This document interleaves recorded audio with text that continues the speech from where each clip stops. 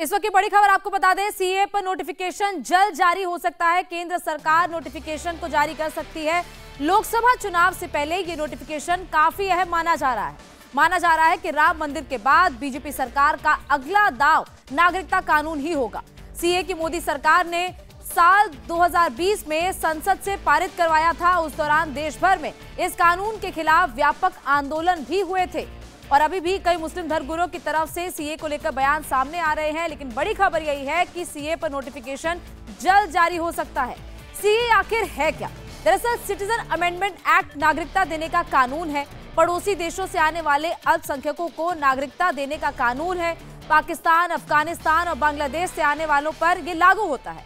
छह धर्म के लोगों को नागरिकता सीए के तहत मिल सकती है, जिसमें ये धर्म है हिंदू, सिख, ईसाई, बौद्ध, जैन, पारसियों को नागरिकता देने का ये कानून बनाया गया है। 2014 से पहले पाकिस्तान, अफ़गानिस्तान, बांग्लादेश से आए अल्पसंख्यकों पर भी ये लागू होता है।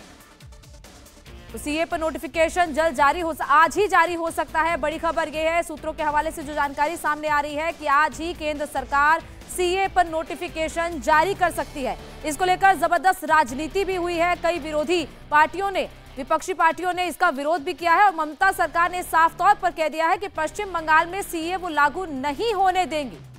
तो सीए का विरोध भी लगातार किया जा रहा है, लेकिन इस विरोध के कारण क्यों है? मुसलमान क्यों इसके खिलाफ है? उसके बारे में आपको जानकारी देते हैं। मुस्लिम समाज के लोग कह रहे हैं कि सीए का वो विरोध कर रहे हैं। मुसलमानों को सीए के बाहर रखने का विरोध उनकी तरफ़ से किया जा रहा है और समानता के अधिकार के खिलाफ सीए है, ये मुस्लिम संगठन लगातार कह रहे हैं। सीए के बहाने मुसलमानों को प्रताड़ित किया जा सकता है। मुस्लिम संगठनों का यह भी आरोप है। इसके साथ साथ वो ये भी कह रहे हैं कि पूर्वोत्तर के राज्यों की डेमोग्राफी इससे बदल सकती है। तो मुस्लिम संगठन लगातार सीए का विरोध पहले से भी करते आए हैं। कई इसको लेकर विरोध प्रदर्शन हुए हैं, कई कई महीनों तक प्रदर्शन हुए हैं। शाहीन बाग का प्रदर्शन भी हमें याद है और इसके अलावा कई राज्यों के कई शहरों में ये प्रदर्शन देखे गए थे। और अब आखिरकार मुस्लिम संगठनों की तरफ़ से बयान तो ये दिए जा रहे हैं, लेकिन केंद्र सरकार आज ही इसको लेकर नोटिफिकेशन जारी कर सकती है। तो बड़ी खबर इस वक्त यही आ रही है कि सीए को लेकर आज नोटिफिकेशन जारी हो सकता है। लगातार ये अटकलें लगाई जा रही थी कि केंद्र सरकार चुनाव से पहले नोटिफिकेशन जारी कर सकती है और अब आखिरकार आज को लेकर यह बात कही जा रही है कि आज ही नोटिफिकेशन जारी हो सकता है। तो मुस्लिम संगठनों की तरफ़ से, मुस्लिम धर्मगुरुओं की तरफ़ से लगातार बयान भी सामने आ रहे हैं। हमने देखे हैं कि कई बयान जिसमें कहा गया कि बकायदा अपने पेपर्स को ठीक कर ले और ये लगातार कहा जा रहा था कि कागज़ नहीं दिखाएँगे। तो बिल्कुल यहाँ पर सीए का सीए को लेकर जो लगातार ये कहा जा रहा है कि सीए मुस्लिम संगठन उनका कहना है कि उनके खिलाफ है। ऐसे में अब इसको लेकर सीए का सबसे ज़्यादा इंपैक्ट कहाँ होगा, वो आपको बताते हैं। बंगाल की 42 सीटों पर इसका असर हो सकता है। असम की 14 लोकसभा सीटों पर इसका असर देखने को मिल सकता है, क्योंकि बंगाल में असर इसलिए है कि बंगाल में 30 प्रतिशत मुस्लिम है। इसके अलावा असम में जो आबादी मुसलमानों की है, वो 40 प्रतिशत है। ऐसे में सीए एक बड़ा गेम चेंजर साबित हो सकता है। बंगाल और असम की इन 42 और 14 लोकसभा सीटों पर तो ज़ाहिर तौर पर मुस्लिम संगठनों की तरफ़ से और इसके साथ साथ जो बंगाल सरकार लगातार इसका विरोध कर रही है, उसका इंपैक्ट भी आप समझ सकते हैं, क्योंकि बंगाल की बयालीस सीटों पर इसका असर सीधे सीधे हो सकता है। वहाँ पर तीस मुस्लिम आबादी है और असम की चौदह सीटों पर, हालाँकि असम में बीजेपी की सरकार है, ऐसे में वहाँ से कोई विरोध के स्वर नहीं सामने आ रहे हैं, लेकिन बंगाल में ममता सरकार लगातार इसका विरोध कर रही है। ममता बनर्जी ने साफ़ कर दिया है कि वो सीए को बंगाल में लागू नहीं होने देंगी। लेकिन जब नोटिफिकेशन जारी होगा, पूरे देश में लागू होगा तो बंगाल भी उससे छूटा नहीं रह सकता है।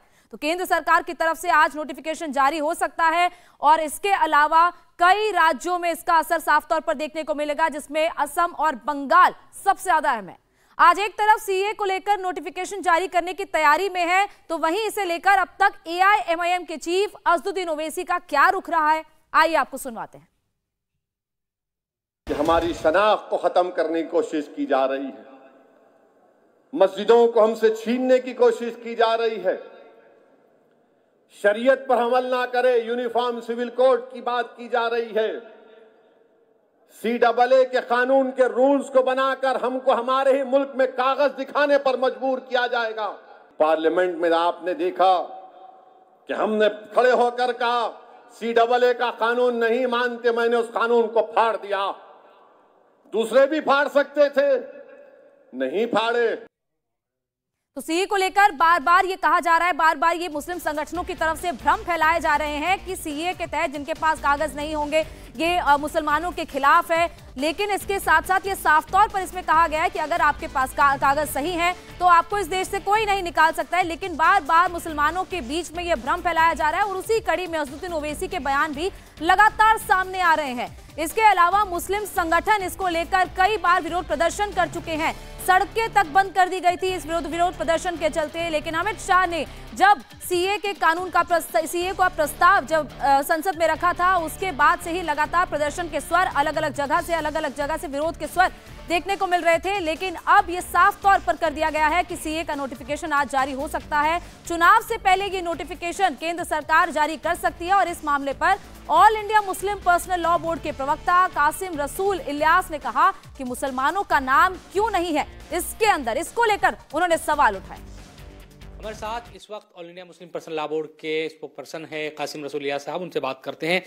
कासिम साहब, हम देख रहे हैं कि पिछली बार तो बड़ी मुखालफत हुई थी शाहीन बाग और लखनऊ में और तमाम जगहों पर हम देख रहे थे कि प्रदर्शन हुए थे। क्या इस बार भी कुछ ऐसा होगा क्या? देखिए, सीए के कानून के खिलाफ जो हमने प्रदर्शन किए थे, उसकी बहुत बुनियादी बात ये थी कि वो एक डिस्क्रिमिनेटरी कानून है। हमें इस पर कोई एतराज़ नहीं है कि पाकिस्तान से, बांग्लादेश से, अफ़गानिस्तान से जो भी आदमी पीड़ित हो, वो वापस यहाँ आए और यहाँ पे